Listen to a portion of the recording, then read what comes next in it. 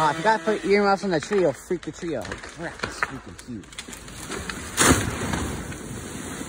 Oh, it's so sick, dude.